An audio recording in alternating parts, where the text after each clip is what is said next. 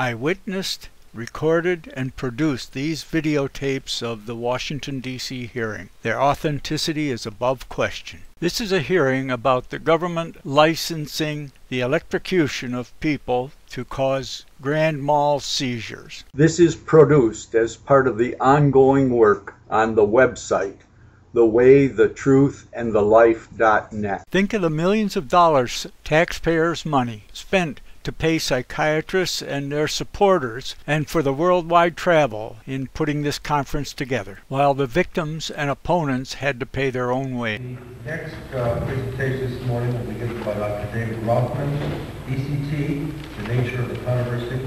Professor Rothman.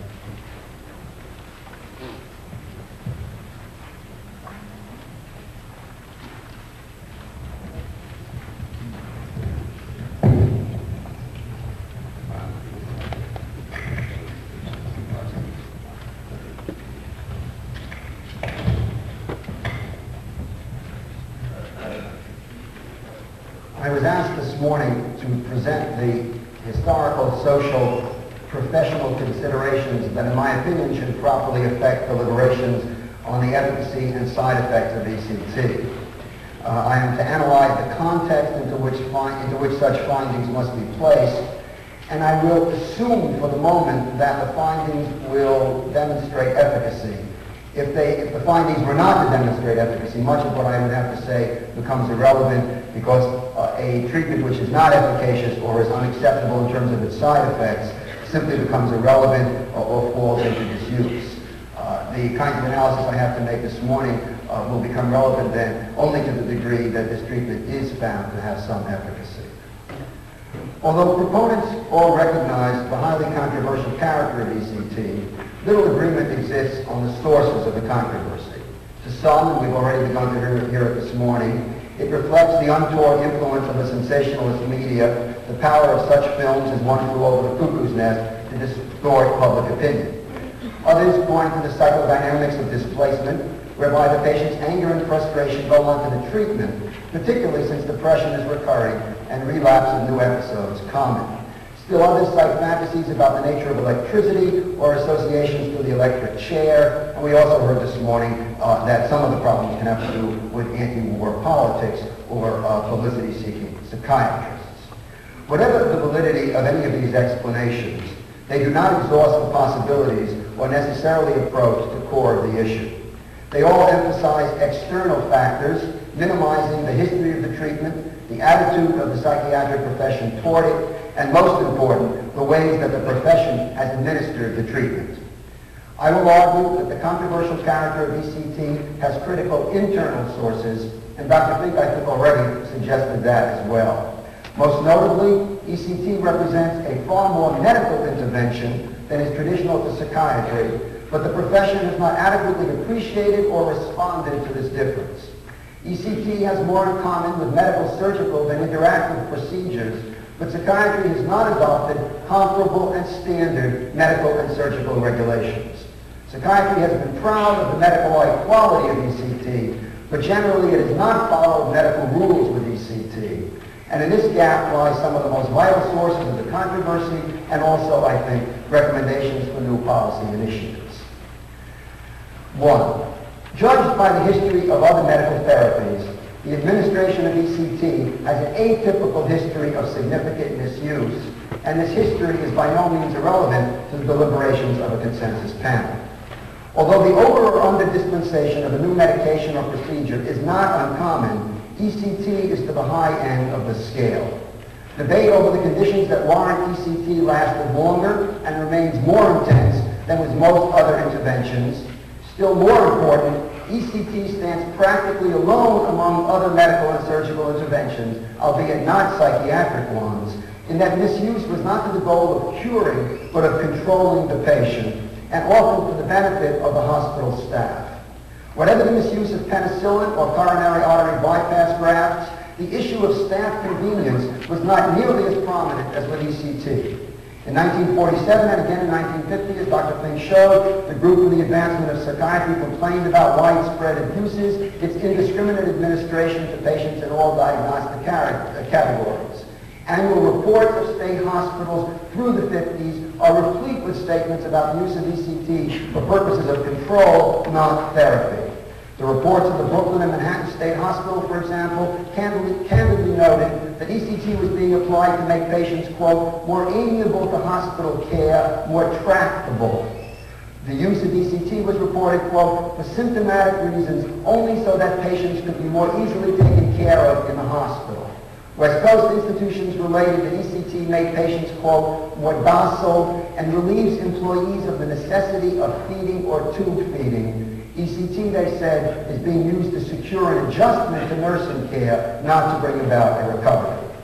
In this same spirit, two researchers at Stockton, California State Hospital reported at length in a 1950 article about their application of ECT to women residents on a chronic and disturbed ward. I'm quoting, our goals were not curative, they were limited to the level of improved ward behavior. Patients who were aggressive and disturbed were selected for treatment, started on ECT once a day, and continued daily until they, quote, became manageable. Frequently, quote, two or more seizures were induced in one day if the patient was unduly disturbed. If the patient's ward behavior improved, the treatment was stopped. If she again became disturbed and unmanageable, treatment was resumed on a daily basis. The researchers judged ECT a success because, quote, the physical labor of attendants was cut in half. To achieve this result, some patients needed only two or three treatments, others 20 to 40. Some of our patients, the researchers concluded, have received over 100 treatments during this program. Although I think we all recognize that there is a distinction between managing a patient and punishing a patient, the line is very thin, often imperceptible either to patients or to outside observers. Thus, it is not arbitrary or accidental that ECT earned a reputation among some patients and part of the public as a punishment. It was not the pain of the intervention, but the purpose of the intervention that was the determining element. The issue of motive has implications not only for the perception of ECT, but for the appropriate regulation of it. ECT is unlike other medical surgical procedures in confronting this problem. Its orders most closely resemble orders for restraint or seclusion, which also raise the question of whose interest is being served, the caretaker or the patient. Indeed, in both ECT and seclusion and restraint, one often cannot be certain of the source of the order, whether it emanated from the psychiatrist or from the custodial staff. Thus, it is not surprising to find that many bodies, like the Joint Commission on the Accreditation of Hospitals, require intricate procedures before an order for seclusion or restraint can be entered, or, and this very same insistence is now being carried over into ECT. In sum, the history of ECT and the difficulty of distinguishing motives for its use establishes, I believe, a predisposition in favor of greater regulation of the procedure. My next four points seek to demonstrate that members of the psychiatric profession have persistently revealed a deep ambivalence about the use of ECT, an ambivalence which has not so much reflected public opinion as molded it. This ambivalence gives ECT a stepchild-like quality as a treatment, which makes a closer oversight of the procedure, I believe, all the more imperative. Thus, point two. ECT is a controversial intervention among psychiatrists, a fact which inevitably reduces its legitimacy among the outside public. The 1978 survey of the APA reported that one-third of the psychiatrists polled were, quote, generally opposed or more opposed than favorable to its use. If one removes this finding from the controversy about banning ECT and places it into a medical surgical context, it is difficult to think of other interventions which one-third of physicians would generally oppose and two-thirds would consider highly efficacious.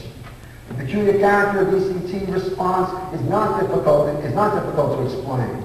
The controversy between those of a psychodynamic orientation and those of a biological orientation is at the root of it. But the result is important in producing a loss of legitimacy to the intervention. Three, there are few medical surgical interventions which proponents would insist are of great efficacy and low risk, but which many of these same proponents and others as well prescribe only after other and more risky interventions have failed. The APA task force reports that only 19% of the psychiatrists gave ECT as a treatment of first choice for major depression. Its findings, it notes, quote, suggest that ECT was not often used until other treatment approaches had been tried and found ineffective. Richard Weiner also observes that ECT is generally invoked only as a last resort because of the, quote, nature of ECT, its risks, and the controversy, end quote. But the risks are reputedly lower than other interventions. The nature of ECT is left unexplained, and the controversy is obviously fueled by the last resort status of ECT. If ECT has fewer side effects and greater efficacy than antidepressants, why should a patient first have to fail on a trial of antidepressants? If ECT is less intrusive and more effective than antidepressants for patients with endogenous depressions, why the delay? Indeed, why has maintenance therapy been used so rarely? Part of the answer to these questions has to do with patient convenience and the stigma of the intervention. But part of it also rests in the psychiatric profession's own doubts about ECT which it has helped to spread to the wider public.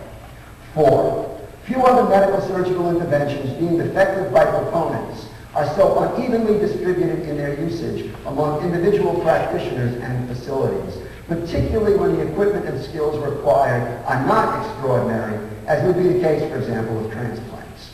Quote, an overview of the psychiatric facilities throughout this country, reports the APA task force, quickly reveals that there are centers where ECT has never been used institutions where it has been extensively used, and all gradations in between, end quote. This uneven distribution, rare among other interventions, yet another indication of the division of opinion and practice within the profession about ECT. Five, few other interventions deemed so effective by proponents suffer from so notable a lack of attention in medical school education and residence training as ECT. No other treatment deemed effective is so much ignored in training as ECT, a fact which again reduces its legitimacy among psychiatrists, other physicians, and then by extension among the public. There have been no shortage of complaints by proponents of the hit or miss quality of the training, but the situation has not significantly improved. The APA task force notes, the body of information about ECT is now so large that a simple apprenticeship is of doubtful value, while thorough training courses tend to be few and far in between. Six, few other medical surgical interventions intend to cause a condition, convulsion, that is otherwise deemed a symptom of a disease. Notes the APA task force, in the neurological literature, the negative effects of seizures are emphasized, and concern is great to prevent them. It has often been remarked that a convulsion of longer duration will please the attending psychiatrist and scare the attending anesthesiologist. Hence, the very nature of the procedure is likely to prompt, public uneasiness. When combined with the points raised above, this uneasiness may turn into distrust and at the same time justify far greater supervision. The following seven points that I would like to make demonstrate that the administration of ECT, whether because of its controversial stepchild qualities or for other reasons, takes place considerably outside professional or public scrutiny with the result that surprisingly little is known about the conditions of ECT use. Whatever the findings on efficacy and side effects, basic information must be gathered immediately about the actual administration of the treatment. Point seven. In few other major in-hospital interventions is there such a lack of information about the credentials of users or so few regulations governing access to the equipment as ECT.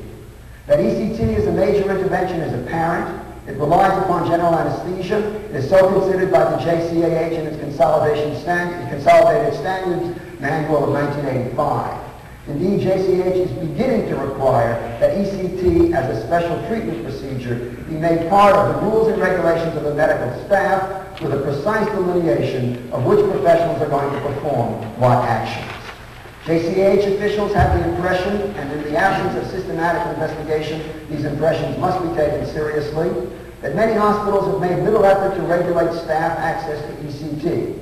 A few have insisted on evidence of special training, but many more make no stipulations. Indeed, JCAH is now, but only now, beginning to define the appropriate criteria, that is the requisite educational background, training, experience, and peer review mechanisms. Such standards have long been in effect for other interventions, from access in hospitals to chemotherapeutic agents to x-ray machines. It is remarkable that ECT has for so long escaped such oversight. This lack is all the more glaring given the extraordinary findings of the survey of ECT use by Pippard and Ellam in Great Britain.